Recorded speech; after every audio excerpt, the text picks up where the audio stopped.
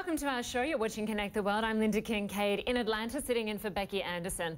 Well, we start this hour with an extraordinary development. US President Donald Trump seemingly squaring up to Russia just hours ago, tweeting Russia vows to shoot down any and all missiles fired at Syria. Get ready, Russia, because they will be coming nice and new and smart. You shouldn't be partners with a gas killing animal who kills his people and enjoys it. Well, reaction from Russia came hard and fast. Its foreign ministry spokeswoman saying smart missiles should fly towards terrorists, not the legal government that has been fighting international terrorism for several years on its territory. Well, meantime, the clock is ticking past a self-imposed deadline from Mr. Trump. On Monday, he promised a major decision on Syria would come within 48 hours. Well, that's just a glimpse into some of the major players in Syria right now. Of course, CNN is across all the angles for you. Our Frederick Pleitgen is in the Syrian capital of Damascus, around 30 minutes away where this suspected chemical attack took place, which of course kick-started this escalation. He's also the only Western journalist in Damascus right now. We also have with us Stephen Collinson following developments from Washington, as well as CNN Sam Kiley in Moscow on top of all the Russian side of this saga. I want to go first to Fred. As the only Western journalist in Syria, President Trump ramping up his threat there. Just give us a sense of how Syria is responding right now.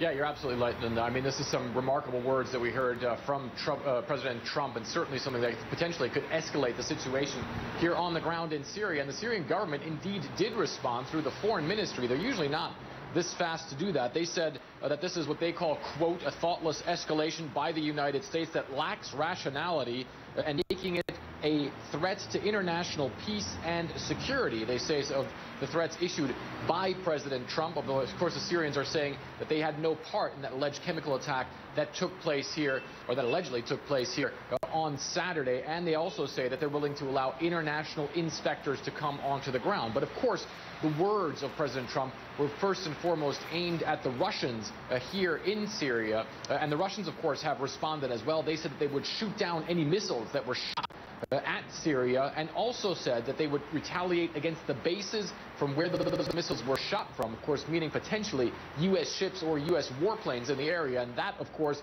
uh, is something that could potentially mean a lot of danger as well. And Lynda, you know, from covering this conflict, I've been here 20 times in Syria, including several times with the Russian military.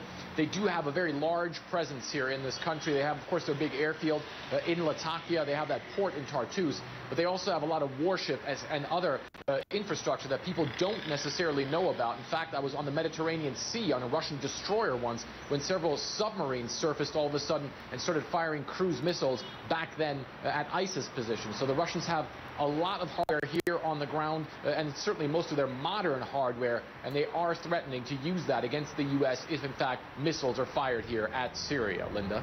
All right, Fred in Damascus, just stand by. I want to go to Sam Kiley for the Russian reaction to this, because the big question is whether President Trump, whether the U.S. will go after Syria alone, or whether it will also target Russia and Iran, who President Trump also blames uh, for sharing the responsibility of this apparent uh, chemical attack. How is Russia responding?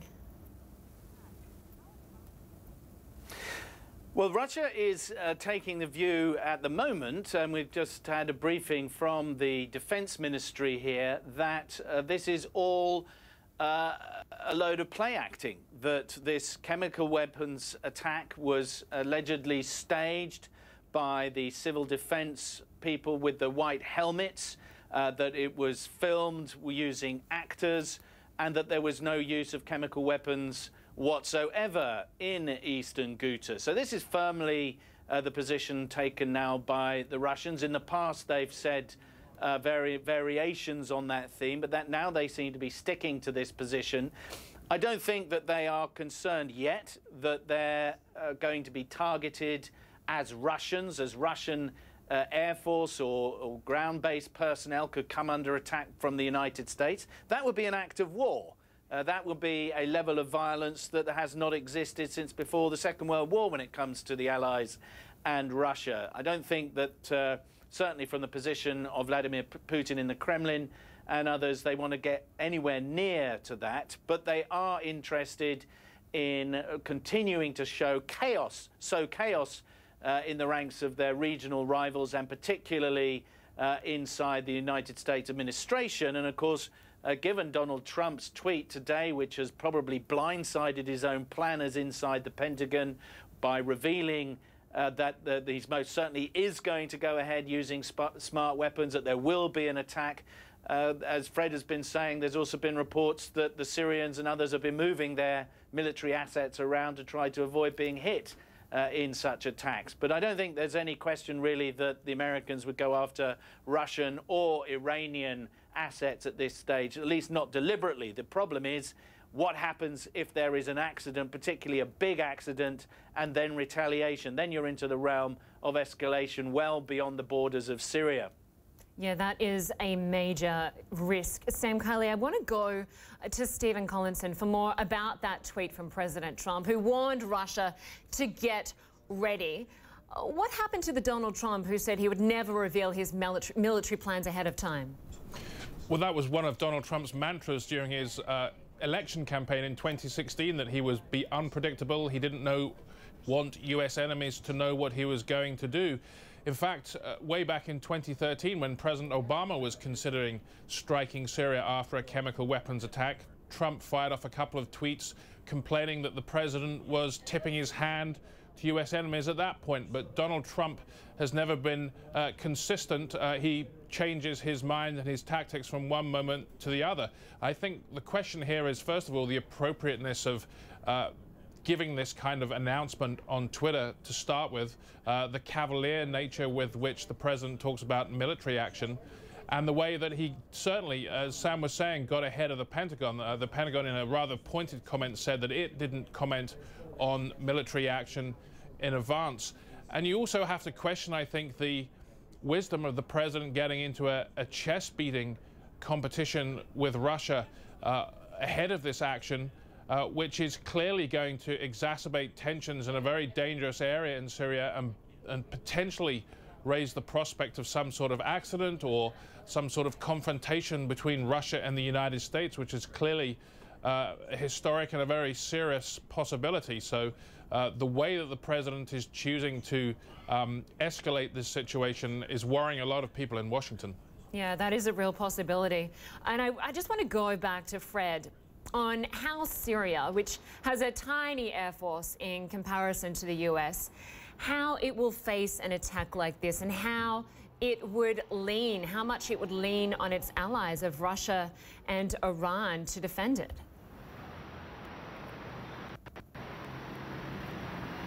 Well, I don't think that uh, the Syrian Air Force would in any way, shape, or form uh, be a match for the U.S. Air Force, especially with all the other planes uh, of the coalition that are also flying around here in the area. And we have to keep in mind that it's not only American planes that are here, but also the French have a sizable uh, contingent, and the Brits also have a few uh, warplanes if they would indeed choose to participate in something like that. So the Syrians would lean heavily on their allies now, the Iranians themselves really don't have much in the way of an air force. They've been under embargo uh, for an extended period of time. In fact, I saw some of the Iranian planes at military parades that they do in and around Tehran every year. And most of them are very old American planes from the 1970s that the Iranians somehow managed to keep in the air. But they also have a lot of planes that, quite frankly, aren't airworthy at all. In fact, it doesn't seem as though the Iranians, at least on Syrian territory, have any uh, warplanes that they would be capable of using. So it would basically be the Russians uh, that would try to deter the Americans. The Russians have very modern jet fighters that they have stationed here. They also, in the past couple of months, actually, uh, put some of their very newest uh, fifth generation uh, jets on uh, into Syria. Unclear whether that was just sort of for battle tests or whether those would actually participate uh, in any of the combat operations. Those actually have stealth technology, but they are still quite unproven. So the Russians have big capabilities. But the big question, of course, is also, Lynda, that the U.S. will be asking is what sort of air defense capabilities are on the ground here. And with that, the Syrians have been largely depleted, especially after the Israelis launched a strike here uh, fairly recently, where they said they took out about half of Syria's air defense system. So there again, it would potentially be the Russians uh, that would try and take down any U.S. missiles or do uh, anything else. They have some very modern technology uh, on the ground here, but of course we also know that the U.S. Air Force is by far the most potent uh, Air Force in the entire world.